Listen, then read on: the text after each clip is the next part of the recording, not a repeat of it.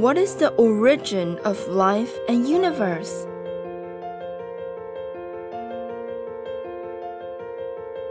The Buddha had already expounded that the life of sentient beings and the universe originated from the mind, the eighth consciousness.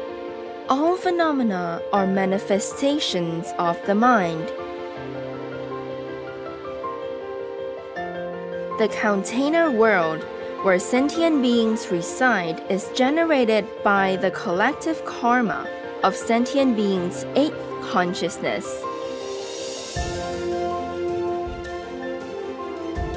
Due to the collective karmic seeds of all individuals stored in their own Tathagata Garbha, myriad worlds are generated. Individuals with specific karma receive particular retributions in accordance with the law of causality. Does free will really exist?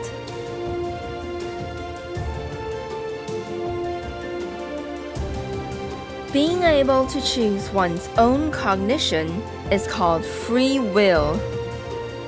Sentient beings' will is both free and not free at the same time. Sentient beings' ability to make decisions about performing good or bad deeds is the freedom of will. The results of good or bad deeds determine the place of rebirth after death. They confine one's will to receive more sufferings or happiness, and one's emotional, intellectual, and rational ability as well, which is the unfree part of the will. Does the ability to see the illusory nature and let go of the material world mean liberation? From the viewpoint of the mundane world, if Buddha's disciples only focus on seeing and letting go of the illusory nature of the material world, this may seem to be working, but they won't be able to attain true liberation in Buddhism.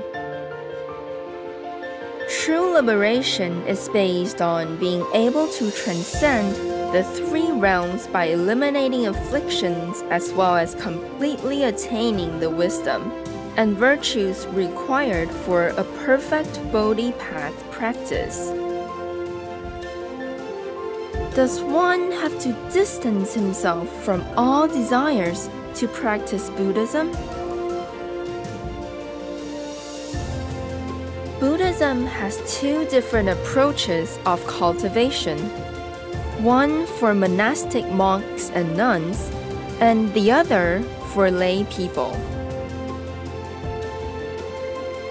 If one chooses to take the vow of becoming a Buddhist monk or nun, one should distance oneself from worldly desires, abide by strict precepts, and practice diligently.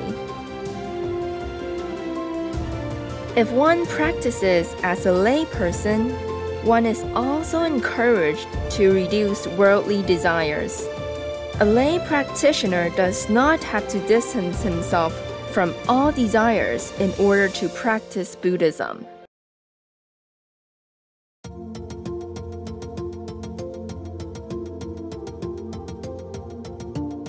The Buddha can only help liberate those who incline towards Buddhism. The Buddha waits patiently for the conditions to mature for every sentient beings to the point where he can help them attain Buddhahood in the future.